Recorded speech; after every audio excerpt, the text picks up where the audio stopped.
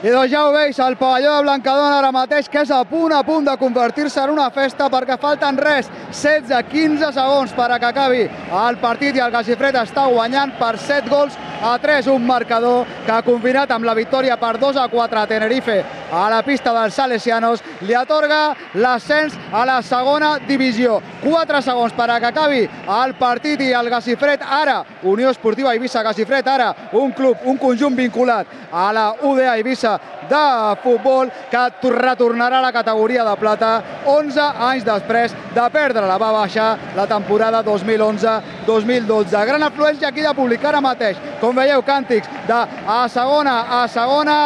els gols de Vicent, que ha marcat 3, 2 de Buitre i 2 de Llames, que donen, ara sí, perquè ara mateix acaba el partit, l'ascens a la segona divisió. Una segona divisió que recordem ara és, com la del futbol, és només un grup, el Gasifred més a prop de l'elit en aquest objectiu que s'ha marcat a mig termini d'arribar algun dia a primera divisió. Alegria Blancadona, la U d'Eivissa Gasifred, és equip de segona divisió.